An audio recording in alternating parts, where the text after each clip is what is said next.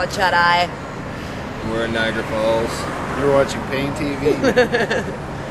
Ow! So as I said before, we are fucking Bloodshoteye from Leamington, and it's great to be here in Niagara Falls with you guys tonight.